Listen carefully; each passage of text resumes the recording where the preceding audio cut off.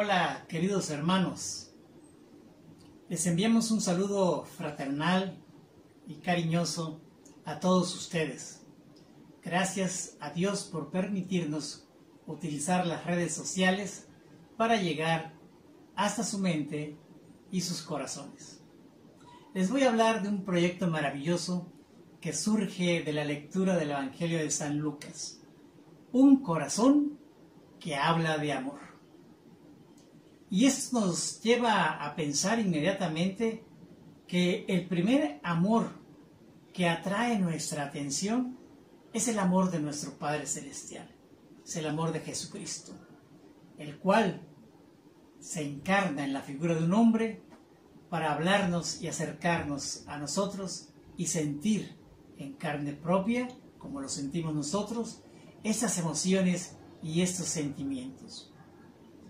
El Señor nos habla de tiempo de calidad y precisamente eh, en la lectura de la palabra encontramos un pasaje maravilloso donde el Señor visita a, su amigo Lázaro y a sus, hermanas eh, María y Marta.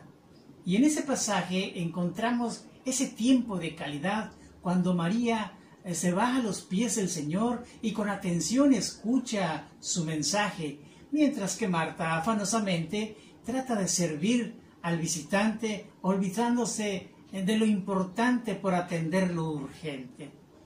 Tiempo de calidad es básico en la relación interpersonal o personal. Tiempo de calidad para con nuestra esposa, nuestros hijos, nuestros familiares, nuestros hermanos, nuestros amigos. Ahí donde las miradas se cruzan, donde el amor se manifiesta en sentimientos múltiples, donde se desborda la alegría, la esperanza y los sueños. Yo los invito, amados hermanos, a que seamos conscientes de brindar ese tiempo maravilloso de calidad. Nuestra esposa, nuestro esposo, nuestros hijos, nuestros nietos, nuestros amigos, la propia iglesia nos lo va a agradecer por el, que el ejemplo, el ejemplo más claro de ese tiempo de calidad nos lo brindó precisamente nuestro Padre Celestial en la figura, en la persona de su Hijo Jesucristo.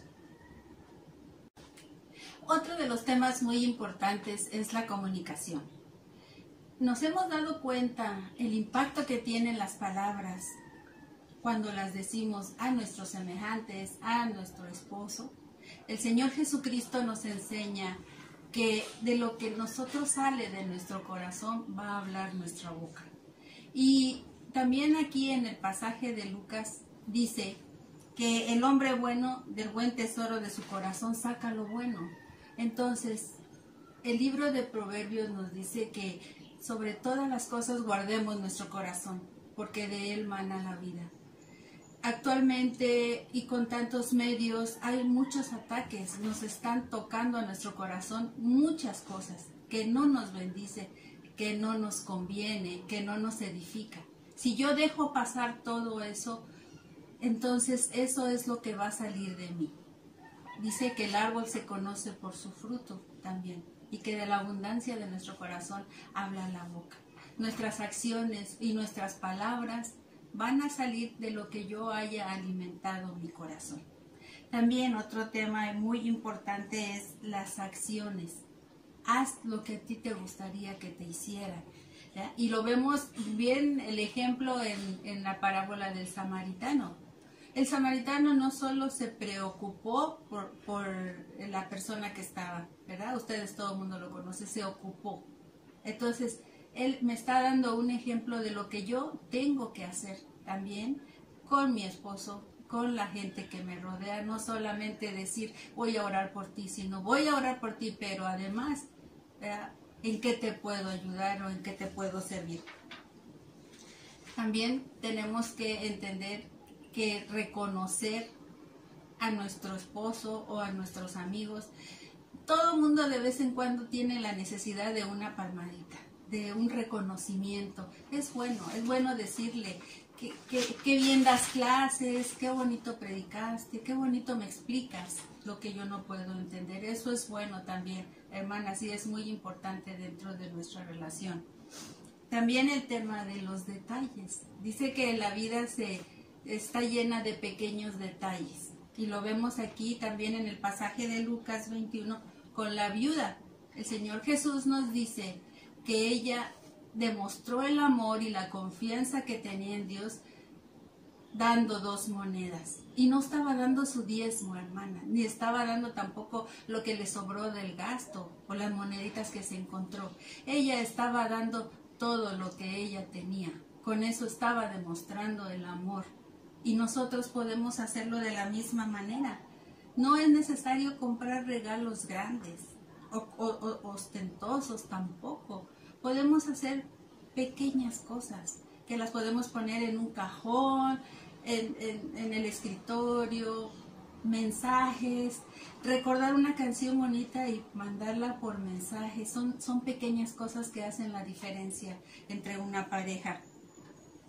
Y bueno, el, el, contacto físico también es sumamente importante, porque aquí también en Lucas 21 del 1 al 4 vemos a una mujer pecadora que unge los pies del Señor, que los besa, que los seca con su pelo.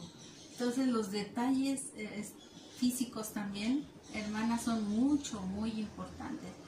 Sobar la espalda, eh, darle palmaditas, ponerle agua para sus pies. Todos esos detalles son sumamente importantes porque hacen diferencia entre una relación. Entonces eh, yo los quiero dejar solamente con una bendición para las familias que la podemos ver en el Salmo 128 y dice, Bienaventurado el hombre que confía en el Señor y anda en sus caminos.